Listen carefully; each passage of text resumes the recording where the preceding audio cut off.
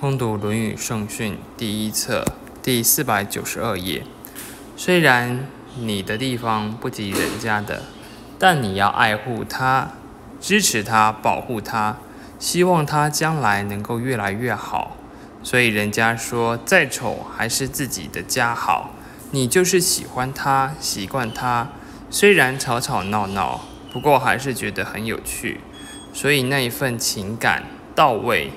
不是用金钱可以做买卖，也不是别人可以给你们的，是你们数世以来的共识。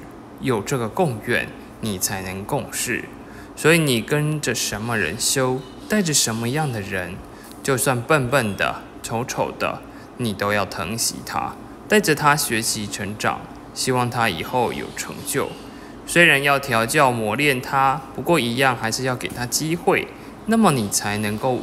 为这佛家的大门越开越宽广，你的正知正见就是要圣杯，你怀疑犹豫那就是丘杯，你的邪思偏见就是弃杯，所以你要以自信来当家问杯，所以真理教育自信当家，真正明理修行的人才能够了脱因缘果报。